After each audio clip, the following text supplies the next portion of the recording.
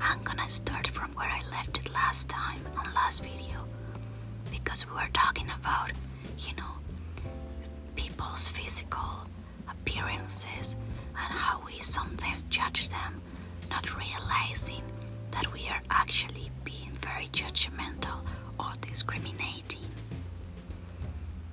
I want to start actually repeating a quote that I that I said on my last episode.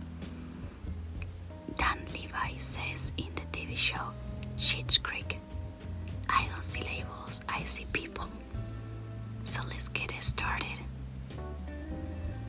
How can we sometimes judge a person if they're pretty or ugly by a tattoo they have?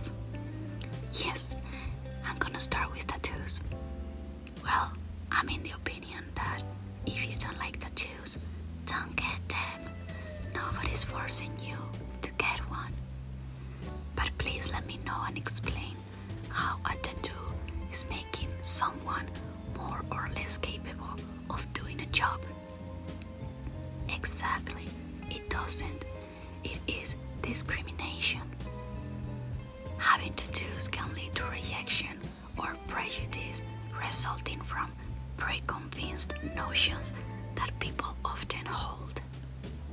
Some negative perceptions are that tattooed people are from more rebellious or less intelligent with lower levels of competence, inhibition, and sociability. But this stigma surrounding tattoos in the workplace hopefully is slowly changing. If you feel alluded to, instead of getting upset from what I'm saying because you might disagree, let's just have a conversation.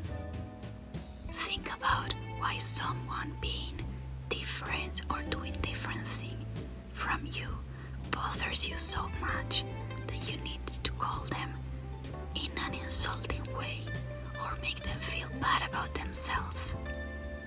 Look, I think where you are right now, I'm only talking about this after doing some reflection and realizing this myself.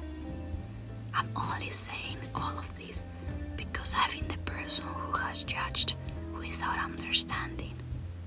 But the thing is, the more I understand a topic, the more I can surrender my criticisms and become, become more open minded, accept others, challenge my thoughts. Why don't we put our energy towards something that actually affect us? Like, for example, if you're a woman and you have a lower salary than a man in your position, why don't let's just start talking about equal rights? Put your energy to do something about it to make other people's lives easier and better. Don't you want to have kids that have a better world than you did? Yes, you can call this feminism or whatever, but feminism is usually wrongly mistaken by going to a parade naked to scream for general rights. Well, let me correct you. No, feminism is just fighting for equality. Because if you ever have a daughter, you want her to have a better life than you did, right? At the end of the day, it doesn't matter if your kids are gonna get tattoos, are gonna smoke, because they will end up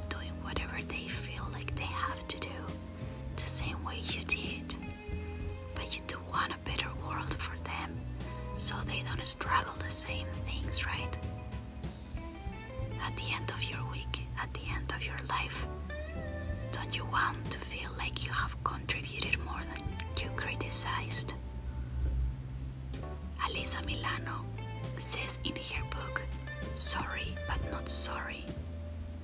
Imagine the uproar if a man calls another man honey. Imagine your own reaction to a grown man calling your daughter honey and the difference in that reaction if he called your boy honey. There you will see the biases revealed in language. patriarchy and homophobia.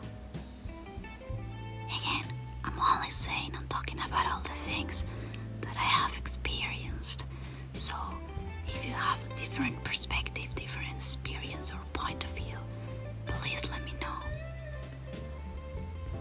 For example, if you talk constantly out loud to yourself without actually saying anything, what does this mean?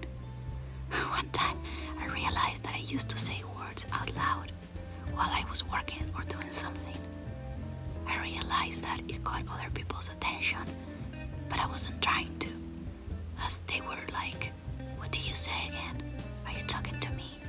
And I wasn't. I was in my own head, probably just trying to call attention. I know a couple of people in my life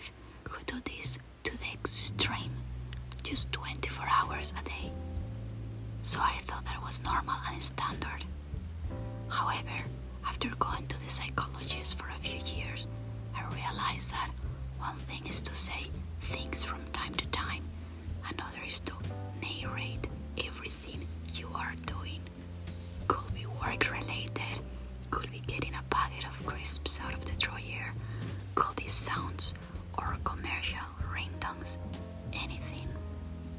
They just generally think out loud pretty much all the time or sing repeatedly commercial tones.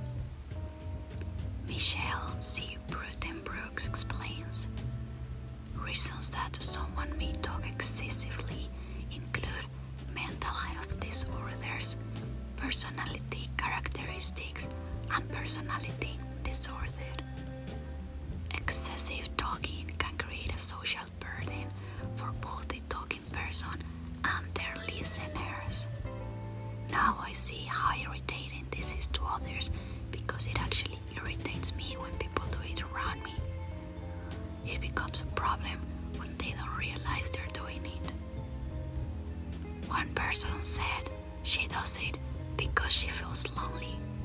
The other said because she wants to. Period. End of the conversation. I now know that even though it's not a mental disorder like other things I mentioned here, it is extremely excruciating for other people. That constant call for attention is also exhausting because people cannot give you their 100% of attention in case you actually suddenly say something relevant. Maybe ask yourself Do I do this because my husband doesn't talk to me? Well, maybe it's time to talk to him.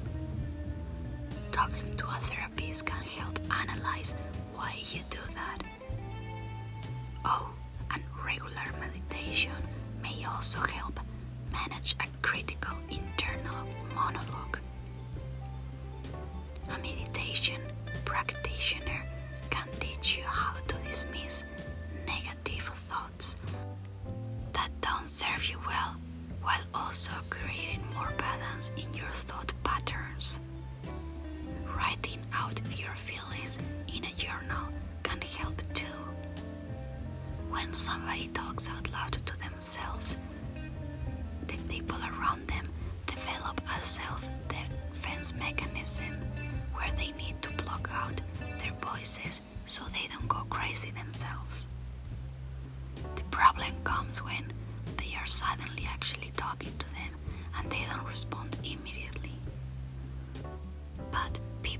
talk too much don't seem to get this balance.